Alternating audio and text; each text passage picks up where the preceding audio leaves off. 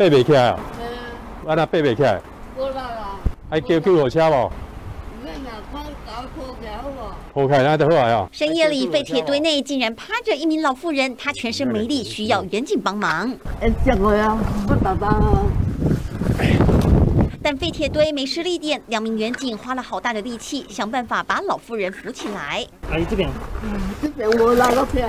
台中这名七旬老妇元旦当天下午拄着拐杖外出，爬上废铁堆中捡资源回收，却因为体力不支，趴在成堆的废铁小山。幸好路过民众听到她的求救声，赶紧报警。你？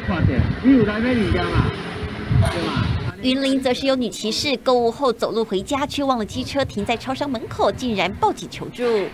安尼有找到就好啦。阮是坐过来遮看这台咱的先甲安尼，阮阮直接阮直接坐。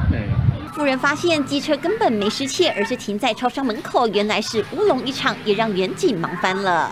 记者廖文斌、连元斌、王百英，云林台中采访报道。